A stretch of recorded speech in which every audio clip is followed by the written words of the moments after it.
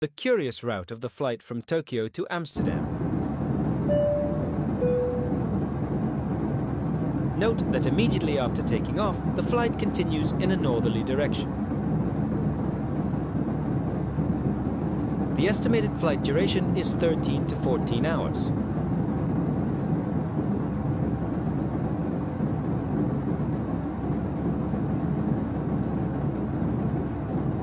The flight covers an approximate distance of 10,200 kilometers or 6,330 miles.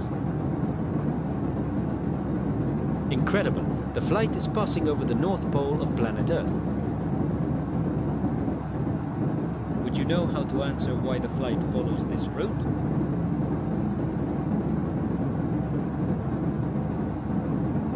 I await your answer in the comments.